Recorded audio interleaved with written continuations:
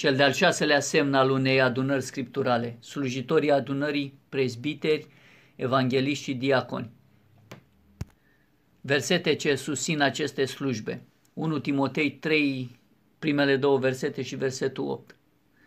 Adevărat este cuvântul acesta, dacă râvnește cineva să fie episcop, dorește un lucru bun, dar trebuie ca episcopul să fie fără prihană bărbatul unei singure neveste, cumpătat înțelept, vrednic de cinste, primitor de oaspeți, în stare să învețe pe alții. Diaconii de asemenea trebuie să fie cinstiți, nu cu două fețe, nu băutori de vin mult, nu doritori de câștig mărșav.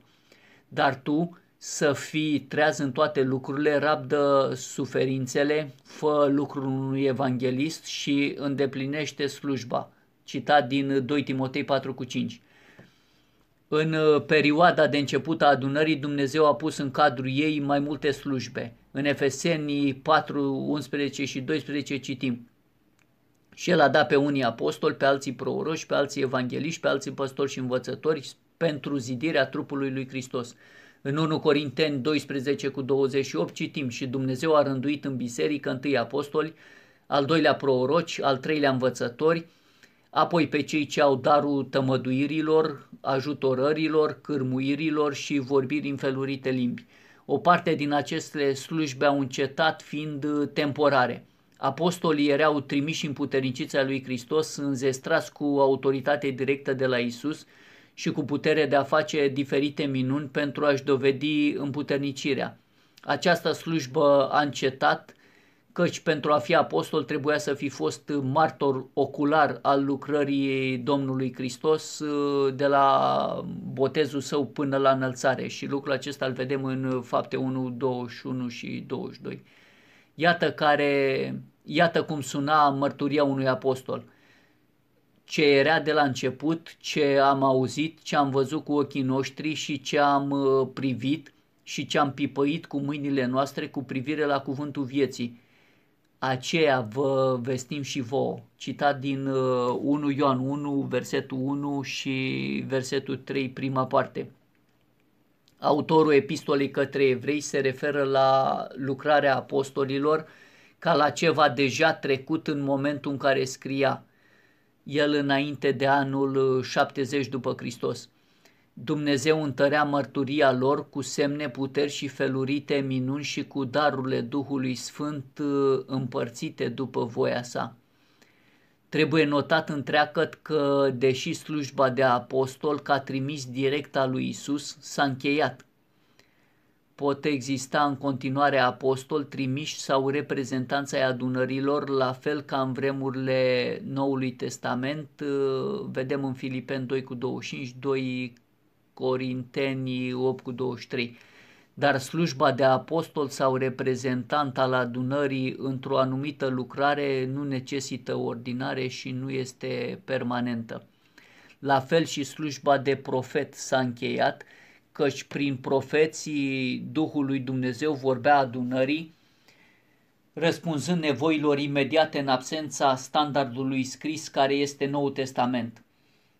Credem că la definitivarea Noului Testament se referea Pavel când a spus uh, că vorbirea în limbi, darul de cunoștință spontană, neînvățată și profețiile se vor sfârși când va veni ce este desăvârșit complet sau matur, așa cum spune în 1 Corinteni 13, de la 8 la 13.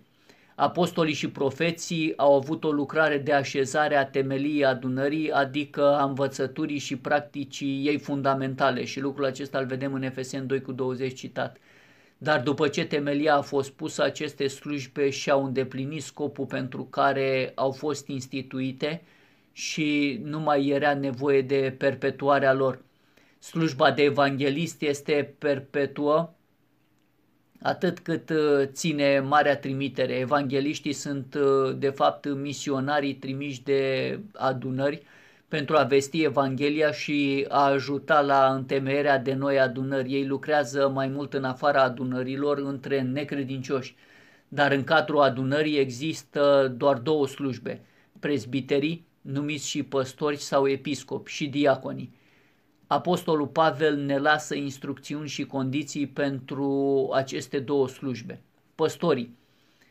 mai sunt numiți în Noul Testament episcopi, adică supraveghetori și prezbiteri, care înseamnă bătrâni. În Faptele Apostolilor 20 cu 17 și 28 dovedești că slujba de episcop era identică cu cea a prezbiterului și a păstorului. Citatul uh, este următorul.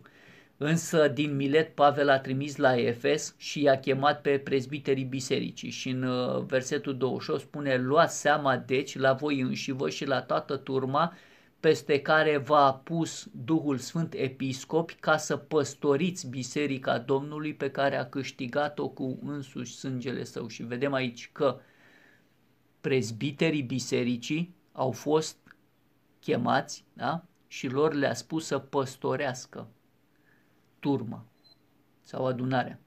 Slujba de diacon a fost instituită în adunare doar când numărul membrilor a crescut foarte mult și a existat o adevărată nevoie pentru o asemenea lucrare.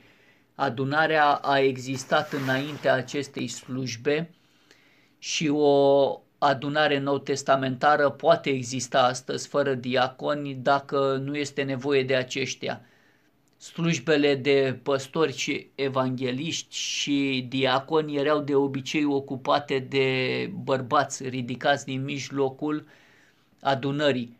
El le-a dat putere să facă lucrarea la care i-a chemat. Profesionalismul în lucrare pe vremea aceea era necunoscut. Ideea că un om poate frecventa un institut sau un seminar teologic și prin aceasta să devină competent pentru a predica Evanghelia și a păstorii nu este deloc un concept biblic.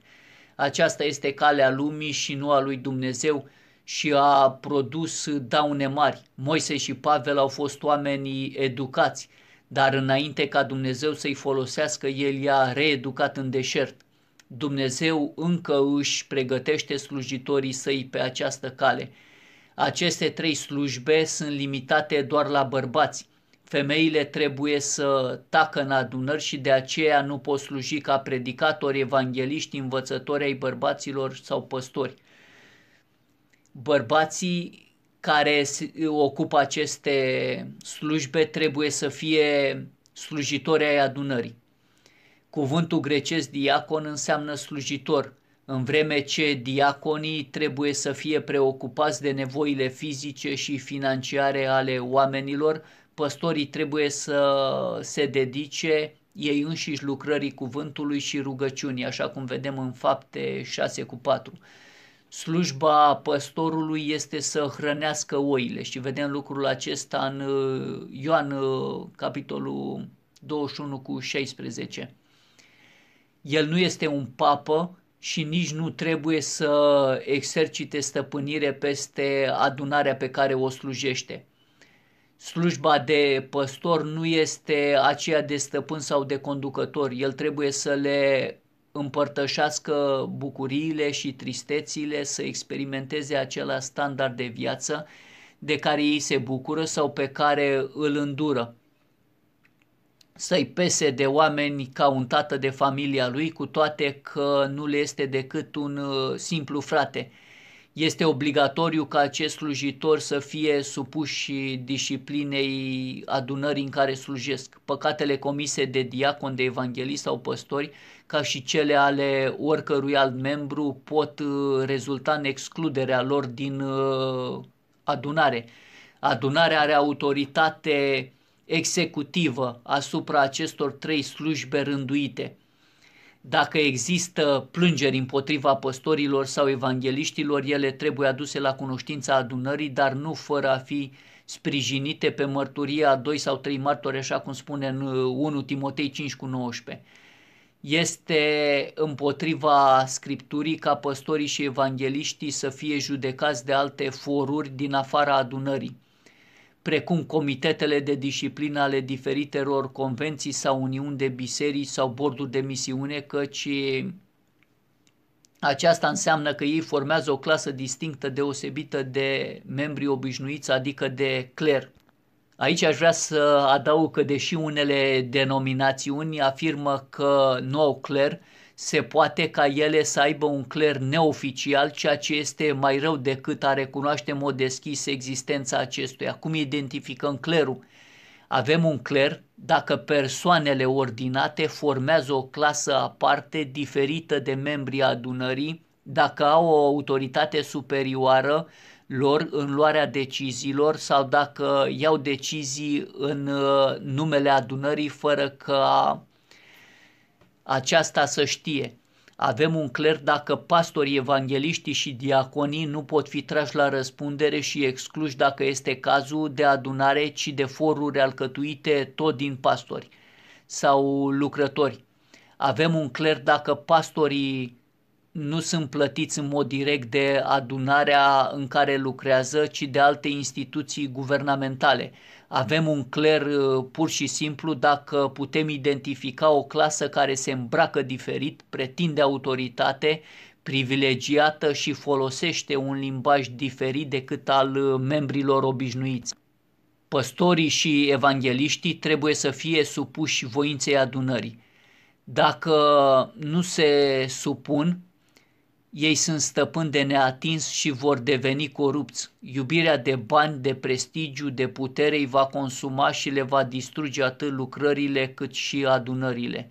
Și orice adunare ce are o ierarhie de stăpâni, indiferent cum se numesc ei, nu este o adunare nou testamentară a Domnului Hristos.